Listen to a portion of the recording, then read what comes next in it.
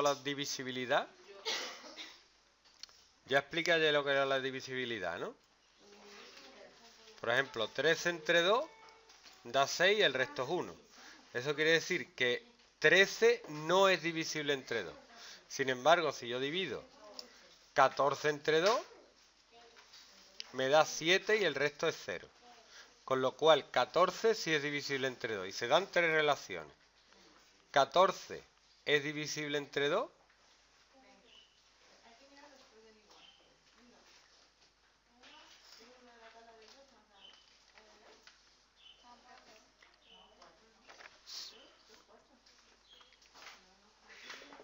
De algo te acordaba.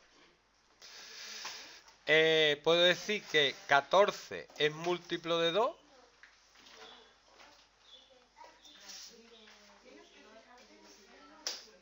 ¿Y qué más?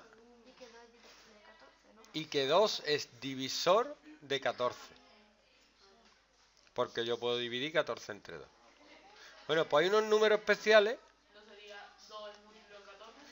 No, 14, el, el más grande es múltiplo del otro.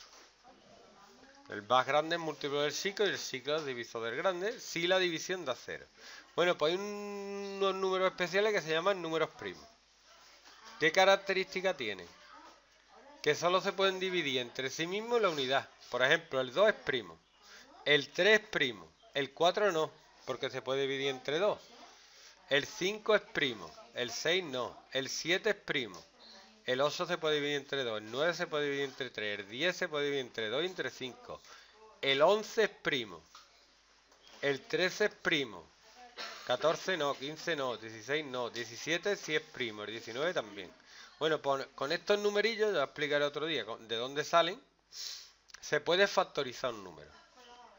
¿Qué es factorizar un número?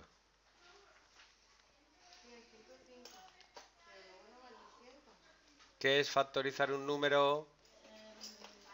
Expresarlo como producto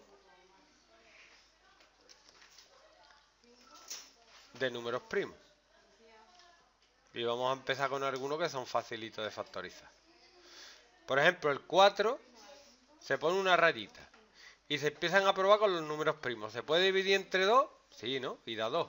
Y el 2 se puede dividir entre 2 y da 1. Y cuando llegas al 1 has terminado.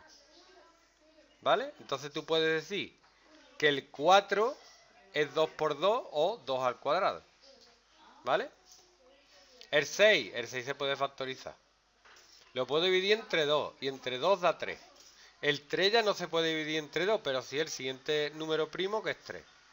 1 y entonces puedo decir que 6 es 2 por 3. Venga, un número grande, el 20. El 20 se puede dividir entre 2, ¿sí o no? Y queda 10. El 10 se puede volver a dividir entre 2. Y queda 5. Tengo que ir buscando el siguiente número primo. ¿Se puede dividir entre 3? No. Pasa al siguiente. ¿Se puede dividir entre 5? Sí. Y ya ha llegado a 1. Entonces puedo decir que 20 es 2 al cuadrado por 5. A mala leche.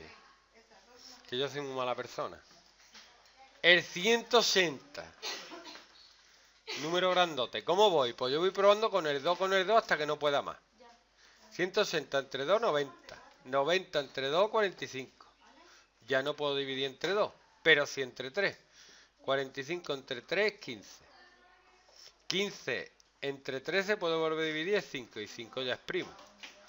Así que 180 es una barbaridad. 2 al cuadrado por 3 al cuadrado por 5. Hala.